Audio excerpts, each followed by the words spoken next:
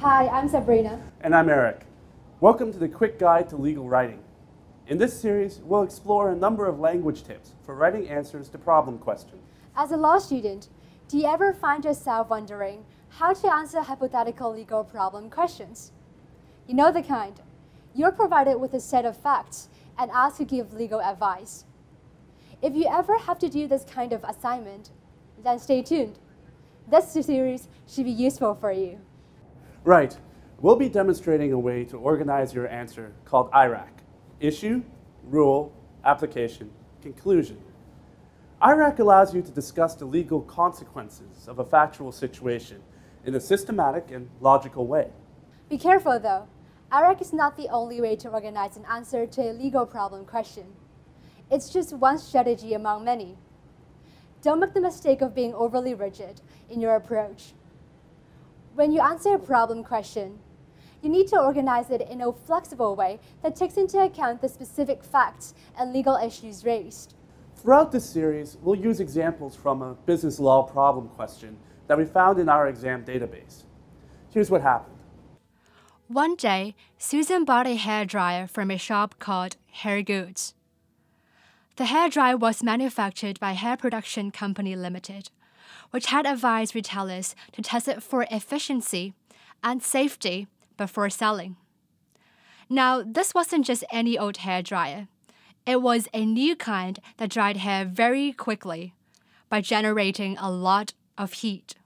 Now, on the box of each hair dryer, there was a warning label, which said, user must not use the hair dryer with wet hands. For further information and advice on this product, please contact Hair Production Company Limited. So, this hair dryer generates a lot of heat and can't be used with wet hands. When Susan bought the hair dryer from Hair Goods, she also bought some hair tonic to use with it. And this hair tonic contained a small amount of alcohol. Susan first washed her hair, then applied the hair tonic and began to dry her hair. Unfortunately, her hands were still wet at this point in time. Almost immediately, flames started in the hair dryer and Susan's hair caught fire. Poor Susan suffered serious injuries as a result. One of the weaknesses of the hair dryer was that it could not be used together with anything that contained alcohol. So Susan decided to sue the retailer, Hair Goods, and the manufacturer, Hair Production Company Limited, for her injuries. As you can see, the case of the exploding hair dryer involves three possible parties.